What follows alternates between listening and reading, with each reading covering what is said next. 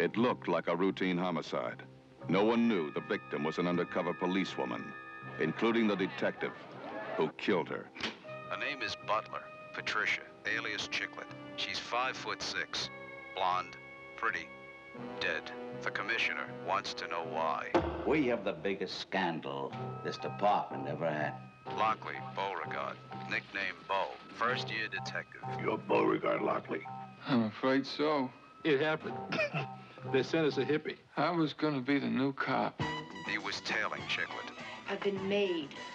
I think he's a cop. Look, I don't know what's going on here, but if he stays with me, there's gonna be trouble. Someone's gonna get hurt. He's now being held for psychiatric observation and murder. All of a sudden, there were lights in my face and guns going off around me. And I guess I just went a little crazy. I want a report. I don't want to cover up. Blackstone, Richard, also known as Crunch. Beauregard. He's a veteran. He's tough. Maybe too tough. You were never part of the operation. I told you they were gonna hurt you. I knew the day you walked into that precinct, you were gonna wind up in here. Joey, wounded war veteran, now a Times Square derelict. Get out of here! Out of my way! He followed the girl the night she was killed. Damn it!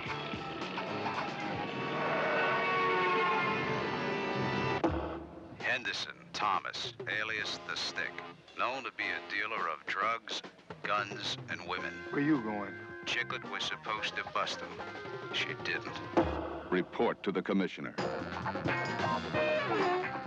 Based on James Mills' best-selling novel. With Michael Moriarty. Yaphet Kotto.